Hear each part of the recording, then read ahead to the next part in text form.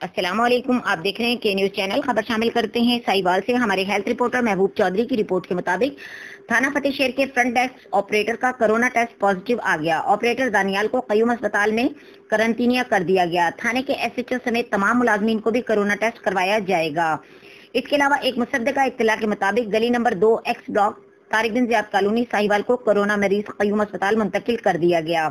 एक और मुसदा इतला के मुताबिक, गुलिस्तान कॉलोनी साहिवाल से कोरोना का मुश्तबा मरीज़ सामने आने की इतलात